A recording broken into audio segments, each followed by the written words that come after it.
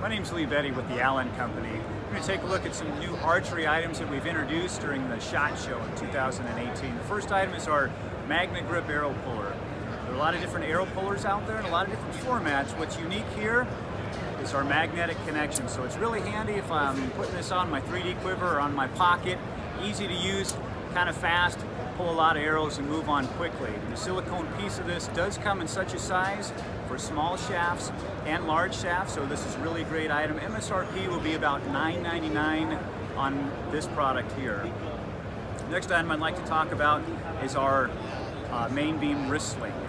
A lot of wrist slings out there. This is kind of a fun and different one. We do put wire inside, so this will hold your memory. If I'm on tree stand and I'm watching a buck and I have to slip my hand through at the same time, you can use that magnetic wire to hold this in place.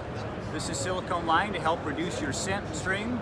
And then lastly, these little trap doors open and shut in a patented feature which is real easy to use to just tighten or loosen the wrist sling to your hand that fits you comfortably.